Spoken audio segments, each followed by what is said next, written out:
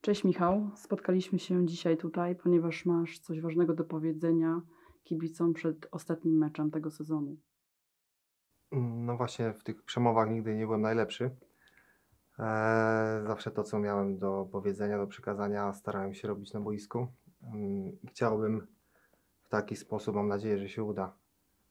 Eee, chciałbym w taki sposób się też pożegnać z kibicami. Eee, zrobimy cięcie. Ten mecz e, z Zagłębiem będzie moim ostatnim w Głogowie, w Chrobrym.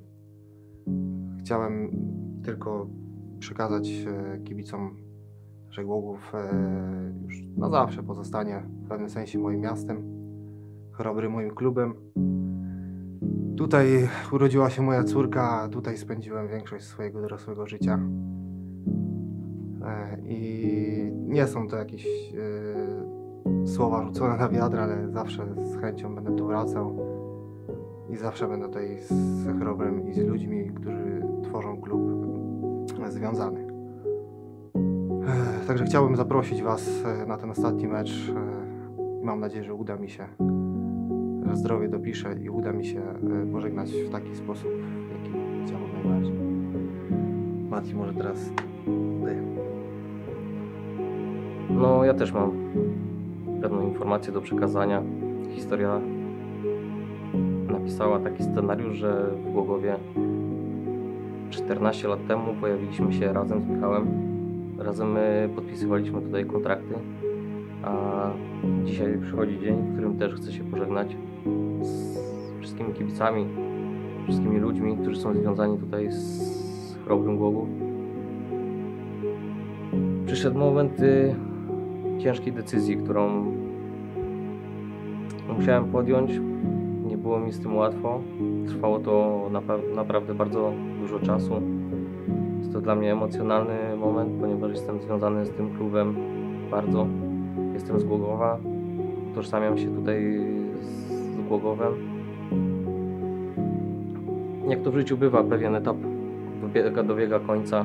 Zawsze w życiu coś się kończy, coś nowego się zaczyna. Moja historia jest taka, że dzisiaj kończy się moja przygoda z zawodowym futbolem. Jest to ostatni mecz y, w moim wykonaniu w pierwszym zespole Chrobrego. Ciężko mi powiedzieć, co będzie dalej, ale życie jest tak nieprzewidywalne i piszę takie scenariusze, że nie wiemy, czego się spodziewać jutro. Może jeszcze kiedyś nasze drogi się zejdą, może jeszcze kiedyś będzie mi dane być tutaj w Chrobrym, może w trochę innej roli niż roli zawodnika. Ale to czas, to czas pokaże, tak jak już powiedziałem wcześniej. Z tego miejsca chciałem podziękować wszystkim, którzy przez ten czas towarzyszyli mi w tej karierze może, ale drodze, przygodzie z piłką, mojej rodzinie.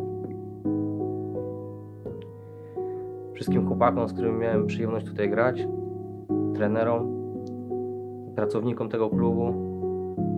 Jak to w życiu jest, były momenty lepsze, były momenty gorsze, ale Chrobry na pewno na zawsze zostanie w moim sercu. Dziękuję. Dobra, to po raz ostatni zapraszamy Was serdecznie na mecz.